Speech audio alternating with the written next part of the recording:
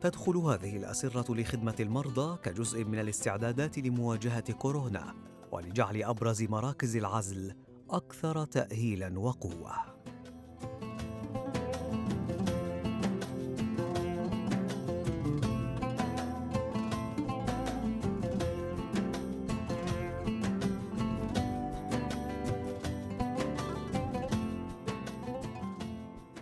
ووفقا لمسؤولي الصحة بالمحافظة فقد كانت المساهمة في توفير أماكن مناسبة لاستقبال الحالات هي أساس مواجهة المرض والتصدي له قبل أن يصبح واقعا مريرا.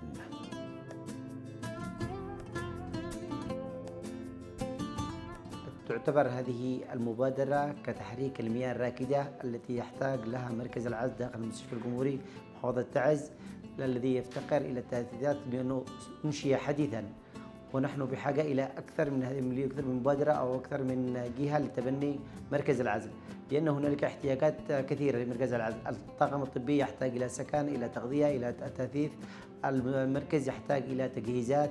هنالك سبع أجهزة التنفس الصناعي تحتاج إلى صيانة.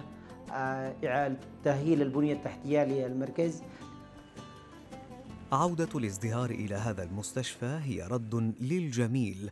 الذي قدمه لمئات الآلاف من المرضى الذين استعادوا عافيتهم فيه واستعادوا أملهم في الوقوف من جديد.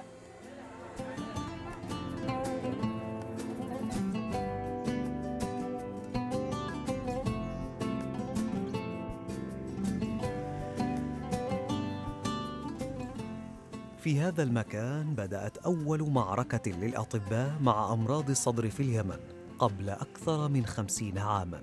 وها هو اليوم. يستعد لخوض مواجهة جديدة ضد خصم قديم. غير اسمه وبدل أسلوبه.